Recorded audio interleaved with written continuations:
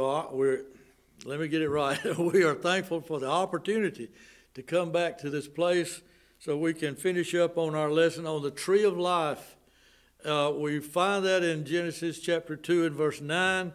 We also find it in Revelation 22 and verse number 2. It's also in another chapter in Revelation, the chapter number 2. But let's start off to, today in Luke 13 and verse number 18. Now, the kingdom of God, uh, Jesus said it came without observation. There wasn't uh, a man on a white charger with a gold crown on his head riding through the streets with an army behind him and banners flowing and trumpets blasting and saying, okay, this is the new king and this is going to be the new kingdom. This didn't come with that. It came without observation. It came by the Holy Spirit uh, redeeming people and changing them from, from dark to daylight and making new creatures out of them. That's what, that's what matters is a new creature. So we look in Luke chapter 13 and verse 18, and we ask the king, Unto what is the kingdom of God like? Ask the king himself. Then said he, Unto what is the kingdom of God like, and whereunto shall I resemble it? Right we want to hear the answer to that question, Lord. What is the kingdom of God like, and how shall you resemble it? There's things that are already in the world that are prepared to reveal to you what the kingdom of God is like. And, and we read that and have read it time and time again in Romans chapter 1 and verse number 20. For the invisible things of Him, like the kingdom of God, that comes without observation, the invisible things of him by and from and because of the king the creation of the world we can clearly see them because those invisible things are understood by the things that are made. So lord take something that's made and show us the invisible kingdom of god. Okay. Luke 13 18 then said he unto what is the kingdom of god like and whereunto shall I resemble it? Answer Luke 13 19. It is like a grain of mustard seed which a man took and cast it into his garden. And it grew and waxed a great what? Tree. And the fowls of the air lodged in the branches of it. What's the kingdom of God like? It's like a little bitty seed that turns into a great big tree, and the birds of the air are able to lodge in it. That's what God said it was like. It's like a tree. The kingdom of heaven is like a tree, the tree of life. The Lord Jesus Christ, blessed is the man, it says in Psalm 1 uh, he, he said that walketh not in the counsel of the ungodly, he shall be like a tree planted by the rivers of water. So we see these trees that we are looking at, and we looked at one last week, the tree of knowledge of good and evil, and this week we're looking at the tree of life. And it, it says that that tree of life is going to be in the garden of God in Genesis chapter 2 what is it, verse 7? Not Genesis 2, 8, and 9, but in Revelation, that's what I was thinking about. Revelation chapter 2 and verse number 7. It's not going to go away. Revelation 2, 7. And I'm in, here it is. He that hath an ear, do you have a spiritual inner ear?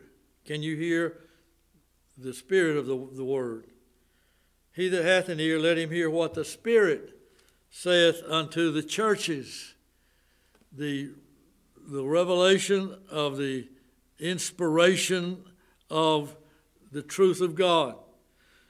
Here it is To him that overcometh will I give to eat of the tree of life, which is in the midst of the paradise of God.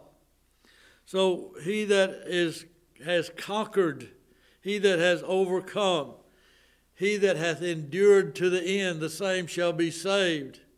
Did you decide you'd had enough? You tried Christianity and found it to be too hard and you quit? Or is it not Christianity and a way of life, a religious way of life to you, but is it Christianity is the love that you have for the Lord Jesus Christ and the love He has placed in your heart for you. You say, I can't quit that which won't quit me. He never quit me. I can't quit him. Okay. If you continue that and you continue and overcome all the trials and heartaches and uh, temptations and everything that's in this life and you and you stay true to the end, Jesus said, I am going to give you to eat, not just to see, but to eat of the tree of life in the midst of the paradise of God. Lord, remember me when thou comest into thy kingdom, the thief said. Jesus said, today thou shalt be with me where? In paradise. What's in the middle of that? The tree of life. The man endured to the end. He overcame. And if you will be an overcomer, God will reintroduce you. That really ain't right. God has already introduced all those who are born again to the tree of life. I don't want to, think that this is only something that can happen when you die and go to heaven. If you are living uh, in a rightful relationship with Jesus Christ now, you are feasting off the tree of life. But this is what he's saying uh, to this church in Revelation 2 7. He that overcometh, he that conquers with me. I came forth conquering and to conquer. Revelation chapter 6, we see him on that white charger. He said, And the army was behind me on white horses. If you are following the Lamb whithersoever he goeth, if you are on your white chargers, he's on his. You, you, you are imitating that which he is and does, then he says, I will bring you back into the right relationship with the tree of life. And my Father and me and the Holy Spirit will never, ever say again, we got to get them out of here. We got to get them away from that tree of life. Lest they eat and do what? Live forever. That's what I want them to do. That's what they have been doing. That's what I introduced them to in John chapter 6. Eating my flesh and drinking my blood. Not literally but yes, literally spiritual. I have been feasting off of Christ, you say. I have been drinking his blood. He has been empowering me. What does that mean? It means that I am cast upon Christ like the infant is cast upon his mother's body. Uh, and, and, and that infant, uh, that word soul, that new, uh, that new being, uh, is, a, is an appetite. Blessed are they that hunger and thirst after righteousness, shall be filled. You will have that which entertains your appetite and that which uh, satisfies your appetite. You will have Christ no matter what anybody else does, whether all hell comes against you or not. They cannot stop you from having an appetite for the Lord Jesus Christ. They cannot cease uh, for you to have eternal life. It cannot be done. This is the way that it is. And Lord, what is the kingdom of God like? It's like a tree. Luke chapter 13, verse 19. It's the tree of life. Genesis chapter 2 and verse 7. Revelation 22, verses 1 through 4. And uh, it, it's like uh, the, the blessed man is like a tree planted by the rivers of waters. And that tree in uh, Luke chapter 13, verse 18 and 19, it, it, it gives, uh, it gives uh, opportunity for birds of the air to be able to roost there and to live there. And uh, we find that that was exactly the way it was in Daniel chapter 4 for, for Nebuchadnezzar. Daniel chapter 4.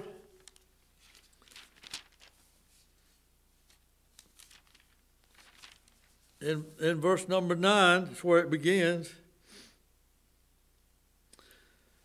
verse number 8, here's uh, Belteshazzar, that is Daniel, coming and his uh, Nebuchadnezzar's dream is being told. He's telling you the account of his dream. Daniel 4, verse 8. But at the last, Daniel came in before me, whose name was Belteshazzar. That means Bel's prince, as it was named after, after the Babylonians. Uh, according to the name of my God, and in whom is the spirit of the holy gods and before him I told my dream, saying, O Belteshazzar, master of the magicians, because I know that the spirit of the holy gods is in thee, and no secret troubleth thee, tell me the visions of my dreams that I have seen, and the interpretations thereof. Thus were the visions of my head in my bed. I saw and behold, guess what? A tree. This is what God had that king dreaming about. Dear, dear soul, listen, in ancient Babylon, we're not talking about archaeologists in our day uh, digging up stuff that was centuries old and trying to find out something about this or that or the other. This is God giving Bel, uh, Nebuchadnezzar a dream in Nebuchadnezzar's day, and he made him dream about a tree. And it's right here in your Bible for you to see it to sustain you. Tree of life in Genesis 2. Tree of life in Genesis 22. Uh, blessed man like a tree planted by the rivers of water in Psalm chapter 1. But then, right here in Daniel chapter 4, another tree. God just keeps bringing up these trees. And he says, I saw and behold a tree uh, in the midst of the earth, and the height thereof was great. The tree grew and was strong and the height thereof reached unto heaven, and the sight thereof to the end of the earth. And the leaves thereof were fair, and the fruit thereof was much, and it was meat or food for all. Don't that sound like the tree of life in Revelation 22 on the east side of the river of life? Listen, the beasts of the field had shadow under it. That's what Jesus said in Luke 13, verses 18 and 19. What's the kingdom like? It's like a little bitty mustard seed growing into a great tree, and all the birds of the air can rest in it and build their nest there and can be sustained there and can be shaded from the hot sun there. Listen, all the beasts of the field had shadow under it, and the fowls of the heaven dwelt in the boughs thereof, and all flesh was fed of it. Isn't that something? I saw in my visions of my head upon my bed, and behold, a watcher and a holy one came down from heaven. And he cried aloud and said, Cut that tree down. Hew down the tree and cut off his branches, shake off his leaves and scatter his fruit. Let the beasts get away from under it and the fowls from his branches. I get in a dry throat. Wait a minute.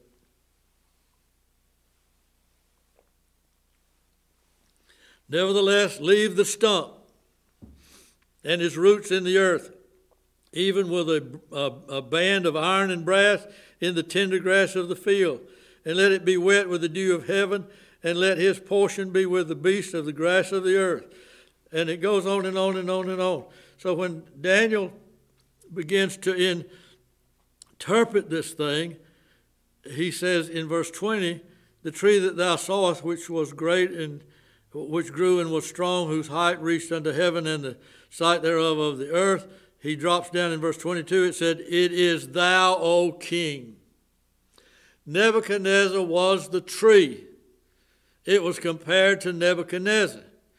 Nebuchadnezzar was compared to it. Man like a tree all down through the scriptures. It's constantly there. So the tree of life is the man of life, the person of the God man, Jesus Christ. So we understand and see that our forefathers, F O R E, not F O U R, our forefathers had uh, a, a diet that was satisfied and suited by trees. At first, it didn't say that God planted any vegetables. It just said, eat off these trees. People just walking around in the, Adam and Eve walking around in that forest, that beautiful Garden of Eden, and if they got hungry, they pick something off of a tree. That's the way it was. It was later under the curse that Adam began to dig into the ground and plant and to harvest. That's when he got thorns and briars. All right, so in their innocency, I hate to use that word, but anyhow, it's the best word that's suited for it. Before they sinned, they ate off of trees solely, completely, entirely.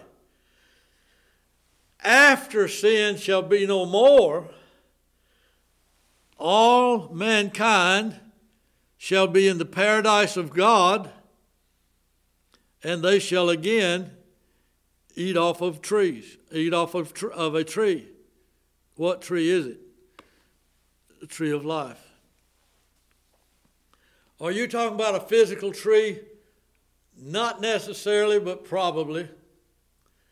But that's not what you're supposed to see, and that's what not that's not what you're supposed to taste.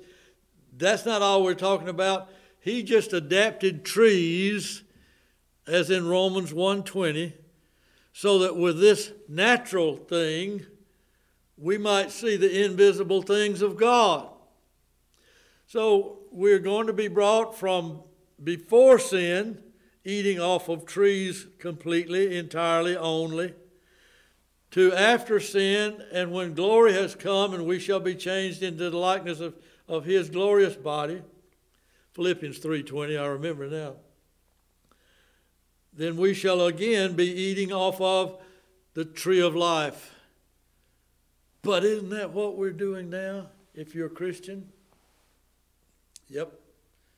Or else John 6 doesn't have any meaning.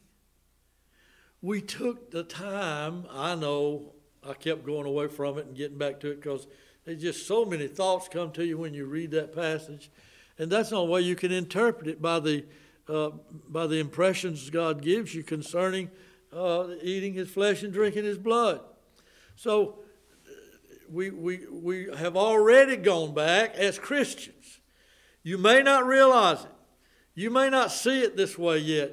You may not understand. You may not comprehend it yet as your faith is that which is the appetite to feast off of God and to believe in Him but it is.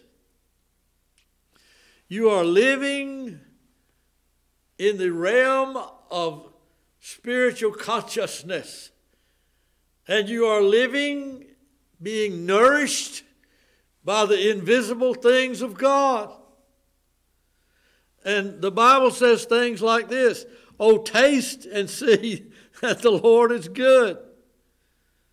Now, you can't just like grab an apple, and bite into it. That's not what it's talking about. But boy, that apple is good, isn't it? Some of them are kind of tart, and some of them are kind of sweet. Some of them are soft meated, and some of them are hard. They're good. But that's just to give you an understanding of how delightful God is, and taste and see that the Lord is good.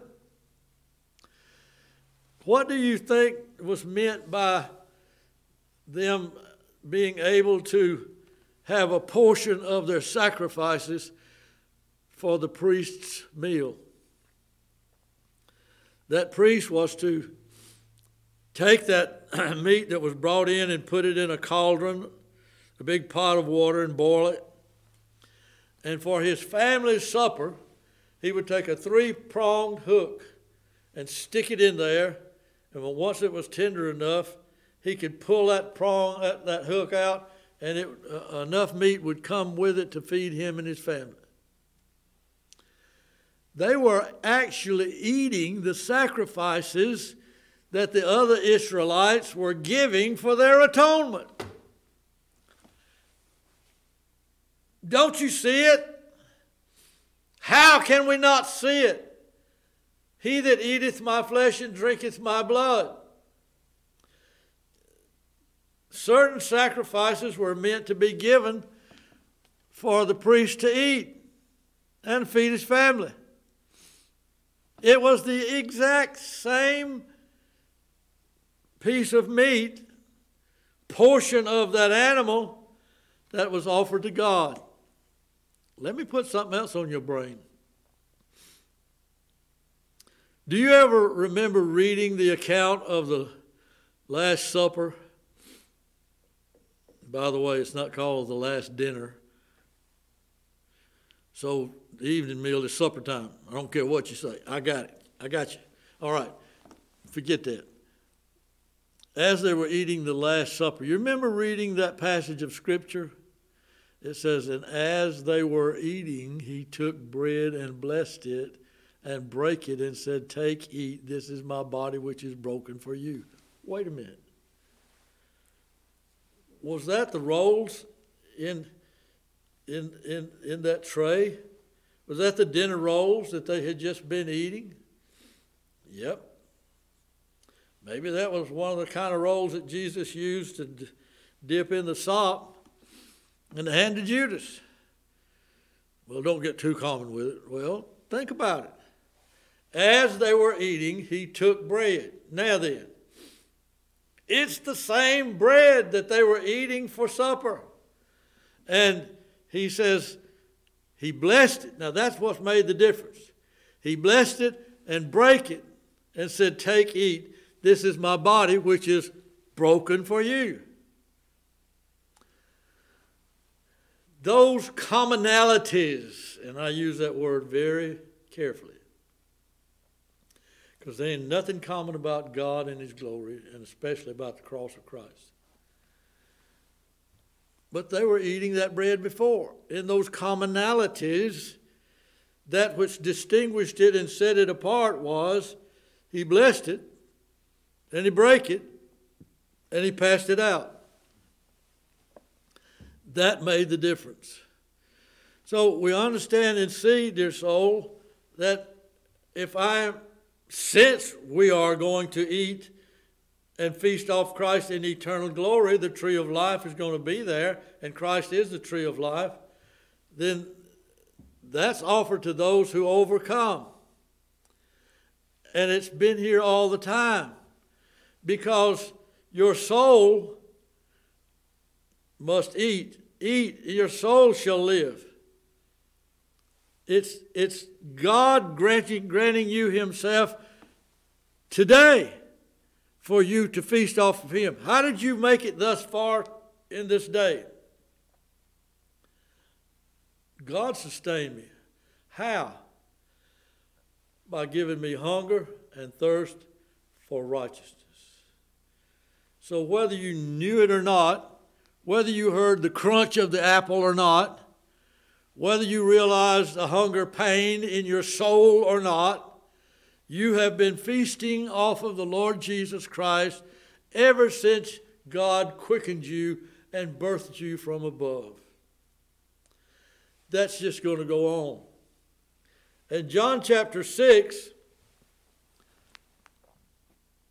is misunderstood, or rather not understood, it's not just misapplied, they just don't know what to do with it. Because the realization of our souls being an appetite and feasting off Christ is foreign to us.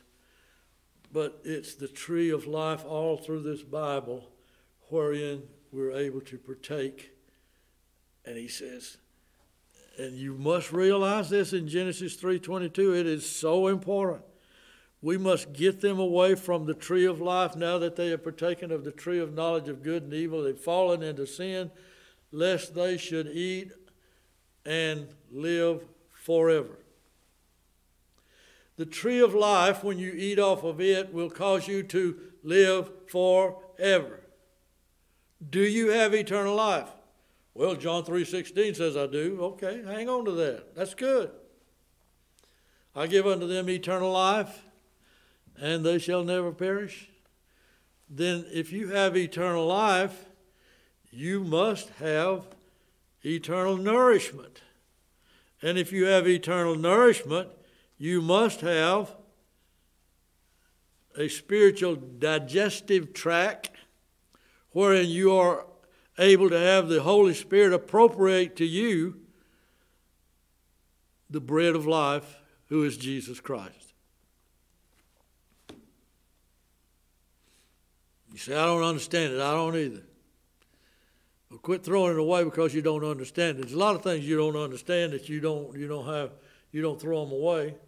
I get in my car and I turn that key and we go. I don't know how all that works. You click that clicker and it turns on the TV. So you tell me you understand how that signal comes into your house. Uh, that is the exact same signal in everybody's house in the whole world if they are attuned on that same frequency to that same channel. I don't know. But am I going to throw them away and not use? Nope. How in the world are you feasting off Christ right now? How am I feasting off Christ right now? I don't know. But John 6 tells me that I am. And Jesus told me in Luke 13, 18, and 19 that the kingdom is like a tree. And Psalm chapter 1, not chapter, there are no chapters in Psalms. They're just the first psalm. It's like a songbook.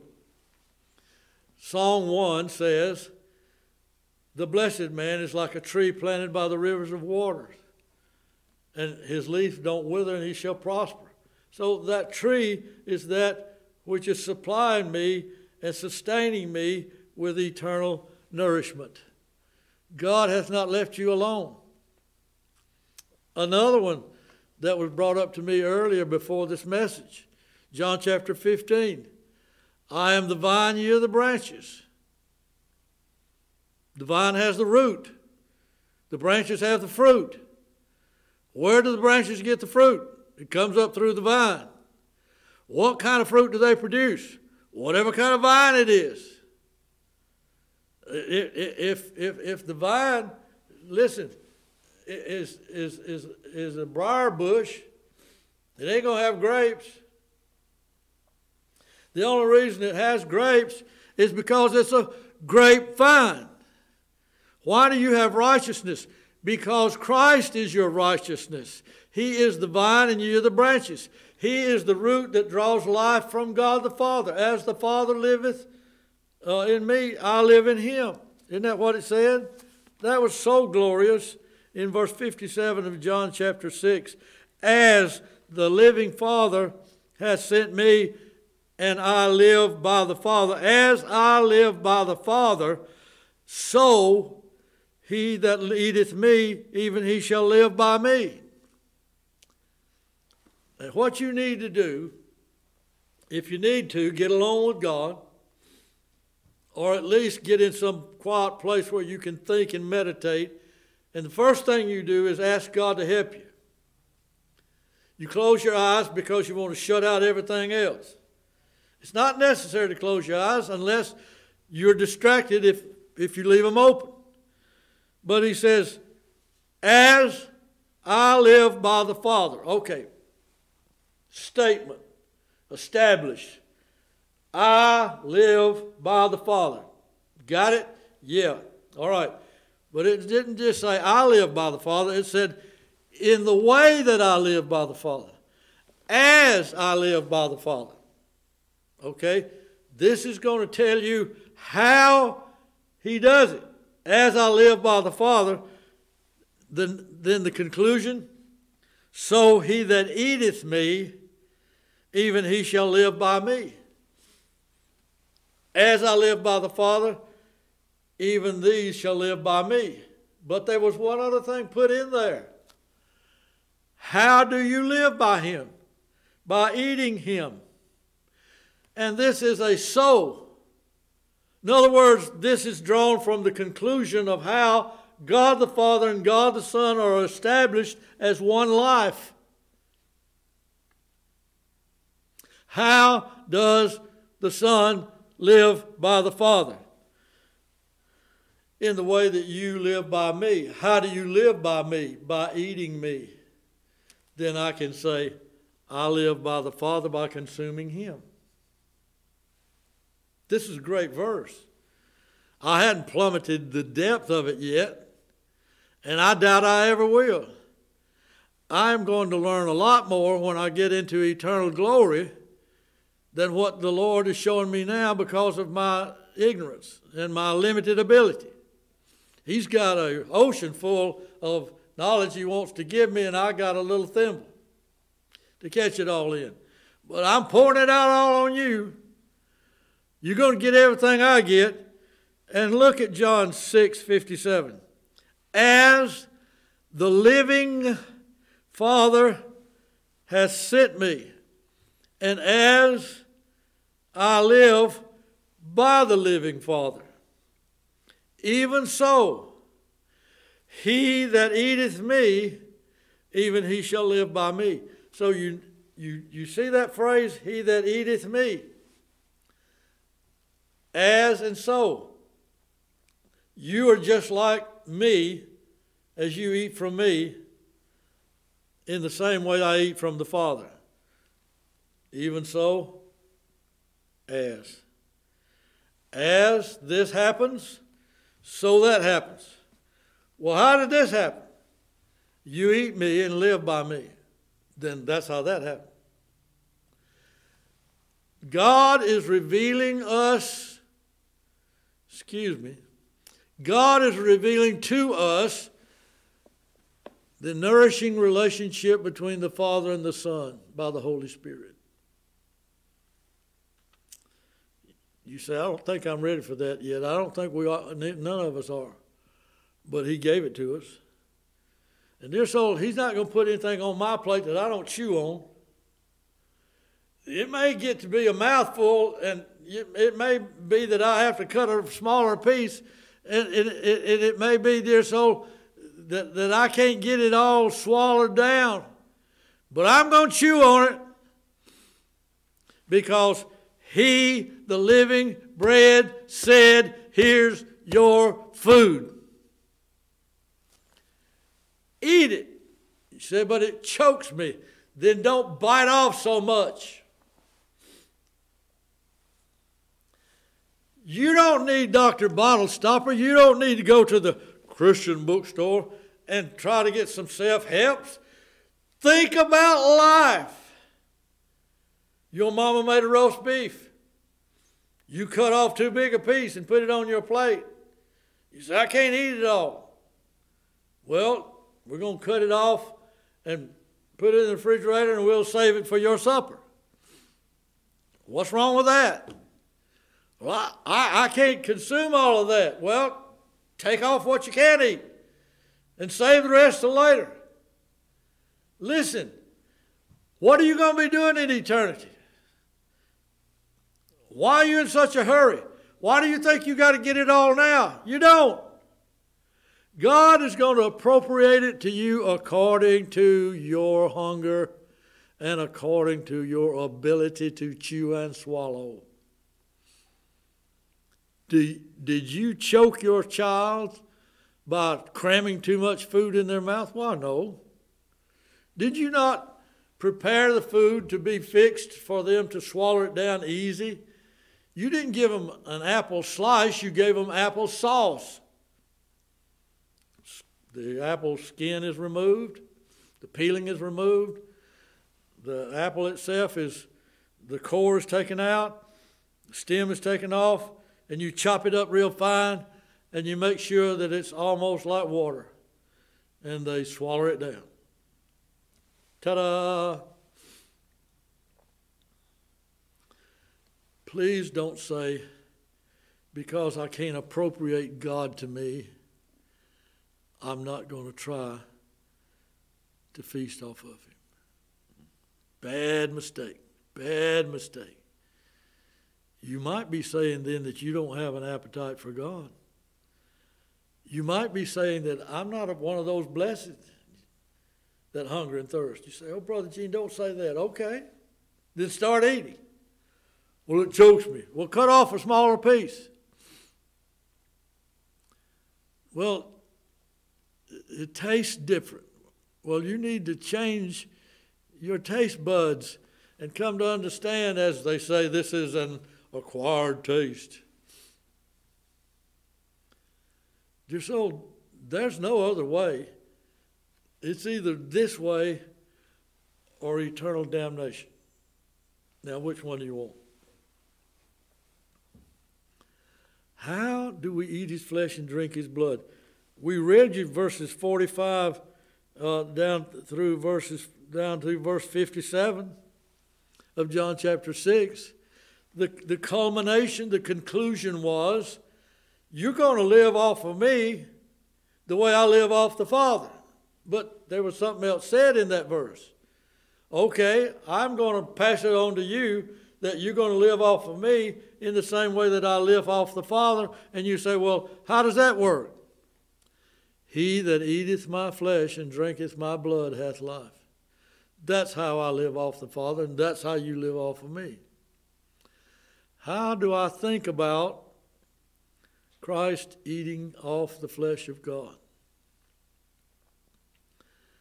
Very carefully, very reverently, very hungrily, asking the Lord to reveal to you how to appropriate Christ to you in the same way that the Father is appropriated to the Son. Now you're going to grow in grace. Now you're getting somewhere. Now just attend these meetings and, you know, get baptized in this water and take this wafer and, you know, attend these services and do this and do that. No, th- this is not just doing, this is being. I want to have Christ appropriated to me as the bread of life, that I might live in the same way that I live, excuse me, in the same way that Christ lives off the Father. Say it. Say it. I want to have Christ appropriated to me in the same way that Christ has the Father appropriated to him. Say it. Believe it. That's the only way. You say, it's so far beyond me, I can't comprehend. Did your baby have to give you the analogy of applesauce before you swallowed that down? Did its little grimy, you know, grinning gums have to grow teeth before it could eat that apple? You used to laugh and grin when you saw that baby grin and them them gums with no teeth looked like grandpa without his false teeth in his mouth. But they didn't have to be or do anything other than just receive what you gave them. What did you give them? You give them strained plums. Oh, they like them. Strained green beans, not so much. But everything you gave them was appropriated by the condition that you gave it to them in. Jesus Christ has been giving you and feeding you himself. And he says, Now, come here, I want to show you something. I am not doing for you anything that I didn't have to do for myself. What do you mean? You know how I've been feeding myself to you? Well, yeah, I don't understand it, but I know you've been doing it. Well, that's how the Father feeds himself to me. Glory, glory, glory. Show us the Father, and it sufficeth us.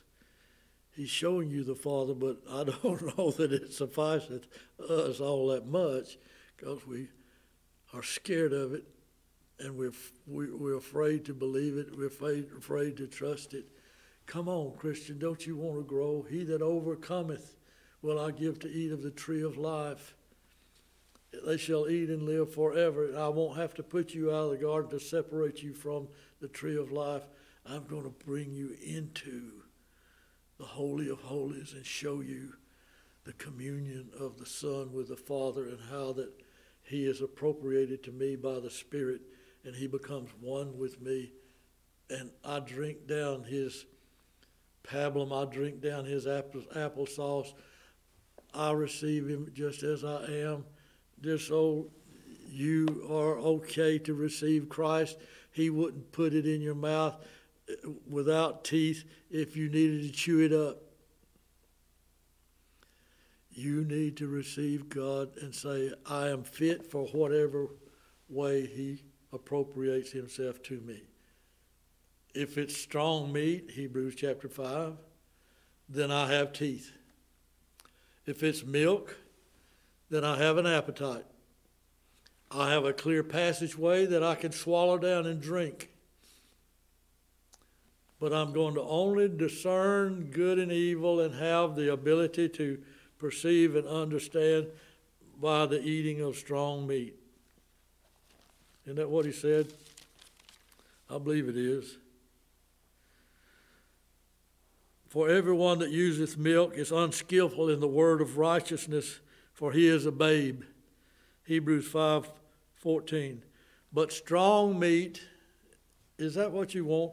Belongeth to them that are of full age even though those who by reason of use have their senses exercised to discern both good and evil. In the tree of life, you have the awareness of the tree of knowledge. You know what's good and evil. Your conscience either excusing or accusing you. But how do you get that? Well, I don't want to just keep on sucking down applesauce through these gums that have no teeth in them. I want to have the teeth to push through. And my, didn't that give that baby a hard time? What's wrong with him? What's wrong with her? They're cutting teeth. What do you mean cutting teeth? Those, those hard bones, that t- the teeth are pushing through those soft gums and it's hard. Yeah, but it's necessary and it's good. And teething won't last long, and mama will take something and rub it on your gums, and it will feel so good, and she will make sure that those gums are numbed and that you're able to complete this process. And before long, years later, you won't even remember that it happened. You just got teeth. The only thing you'll remember is, I got to go to the dentist. Why did God give you teeth? Why did God give you bald gums? Why did you have to have oatmeal? Why did you have to have applesauce? Why is it now that you desire strong meat? It's because that's life progressing on. Well, what about your spiritual life? Aren't these things essential and necessary to show you the invisible things of God? Aren't they there for you to see how the Father appropriated himself to the Son? And as I live by the Father, so he that eateth me, even he shall live by me. And that phrase, that eateth me, is the key to understanding the as. The as and the so are going to be the same. But the soul gives you one more little phrase of understanding that you didn't have with the soul. Excuse me, that you didn't have with the as. Let me say it this way. That second part of that verse, John 6 57, gives you some understanding of what you didn't see in the first part of that verse. So, as the living Father has sent me, and I live by the Father, so he that eateth me, even he shall live by me. As the living Father hath sent me, and I eat him and live by him, then if you eat me, you shall live by me. So he that eateth my flesh and drinketh my blood hath life. And it's not talking about the natural. It requires the natural, Romans 1.20, to show you the supernatural. But it's talking about things that are heavenly. He told Nicodemus, Nicodemus, listen, you've asked me earthly things, uh, and I can't tell you. how in the world can I tell you heavenly things? You don't understand anything. I say, you must be born again. You say, I got to get back inside my mother's body and come out again. I can't talk to you. God is here striving to show you, desiring to show us spiritual things. I wonder if you will if you will reward yourself in the near future by beginning to feast off this verse and say, Lord, I got my soul. I want to see your as. As the Father. So you.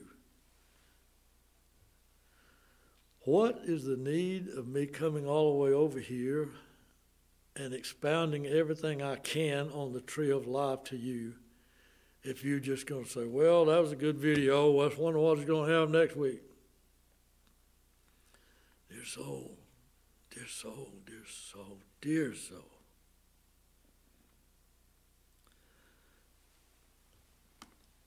This is God the Father speaking to you through God the Son. Is that of no consequence? Does that not mean anything to us? It ought to mean everything to us. Let us see what God will have for us. Oh, my soul. May I read you a few verses and then we'll close? They're all in the book of Proverbs. This is the only other uh, book where you'll find this tree of life continually mentioned. Genesis, Revelation. But look with me in Proverbs chapter 11 and verse number 30. The fruit of the righteous is a tree of life. Do I? Are you? Is that which I do, that fruit, that result of my actions and words, does it become a tree of life to, any, to anybody? The fruit of the righteous is a tree of life. Chapter 13 of Proverbs and verse number 12. Hope deferred maketh the heart sick, but when the, the desire cometh, it is a tree of life. Have you asked God for something and you were grieving so bad and your flesh didn't believe you're going to get it, but your spirit said, I got to keep on praying because the flesh is weak, but the spirit is willing, and you kept on praying, and then all of a sudden God gave it to you and it, it opened up and it happened? Wow, it's like a tree of life. Don't forget to go back and say thank you. Oftentimes, when God answers our hard prayers like that, we're so glad we got it and so relieved from the, from the pressure and the stress, we, we get so delighted, we're like the nine lepers, we forget to turn around and thank Jesus for giving it to us. Don't forget. 15 and verse 4. Proverbs 15 and verse 4, and this will be our last one. A wholesome tongue is a tree of life but perverseness therein in the tongue is a breach in the spirit. Have you ever heard a merry heart doeth good like a medicine? Yep, that's what this is talking about. A wholesome tongue is a tree of life. I'm so tired of the filth that you cannot avoid in this nation now. People talking just with lust and vulgarities and and and it's just it's sickening. And to have somebody speak to you in a, a way of, of, of, of sanctity or blessedness or wholesomeness, it's a tree of life. It's a refreshing. It's like eating off of a tree with good, delicious, juicy fruit and enjoying it. So these are some of the verses in the middle of your Bible in the book of Proverbs that, uh, that are yours. And I, I didn't bring you everything that I had prepared to bring you. I never do. But I tried to follow the Holy Spirit and bring you everything that God seemed, as I could understand, me to want to bring you. We've been educated, we've been illuminated, and now we've been challenged. Friend, make yourself available to the tree of life and read John chapter 6 until you understand what the Lord Jesus is saying to you. Thank you. God bless you. Amen.